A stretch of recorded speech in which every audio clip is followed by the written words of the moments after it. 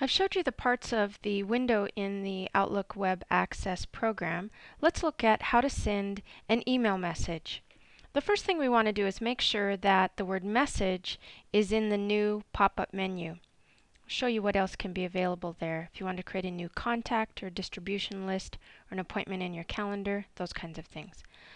But we want to make sure that we have message in there and then we're going to click new the window that pops up is going to ask us a couple of questions. And we need to make sure that we fill in some of these um, boxes in order for our email to go. The first one is, who are we sending it to?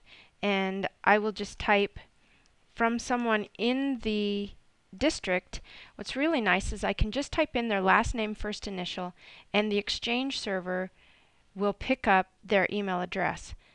Now I should clarify, if a person has um, an extra letter at the end of their name, for example, for example, if they have a last name, first initial, middle initial, you want to type all of that information. Um, but you don't have to type the at billings.k12 information. That's nice. I want to make sure I click in the subject bar and type in some type of subject and let's make sure we type it correctly. Just a, a, bit of email etiquette at this point, and that is to send an email message without anything in the subject is considered very rude.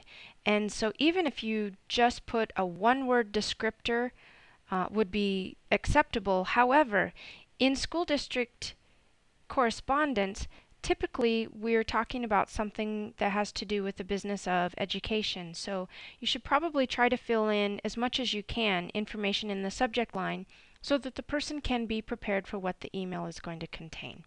That's just email etiquette. So I've clicked down in the body of my email message and now I'm going to type uh, a little bit of a message here.